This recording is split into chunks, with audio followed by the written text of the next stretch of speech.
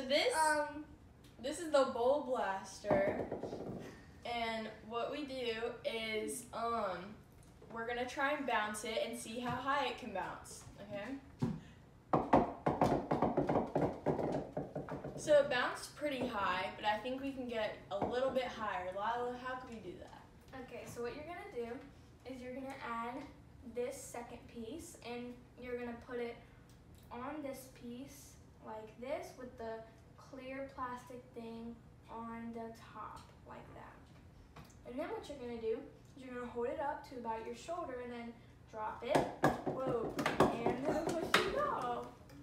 And see, it bounced so much higher. So, Now, you want to try again?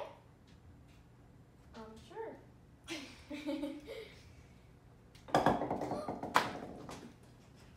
so from that, it made our bowl blaster bolder. And Just that's like- exactly what Jesus does for us. Because without Jesus, our life would be dead, boring, plain old life. But with Jesus,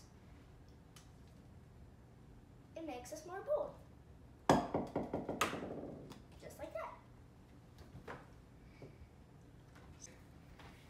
Jesus' power helps us be bold.